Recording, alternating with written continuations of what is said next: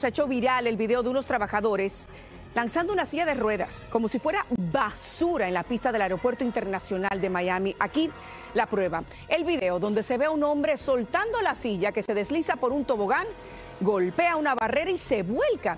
Imagínese usted, estas imágenes han indignado a millones de personas discapacitadas que se están quejando que le están destrozando sus sillas de ruedas cuando viajan por avión. Ahora sí tenemos que recalcar que la aerolínea American dijo que está investigando esto ocurrido.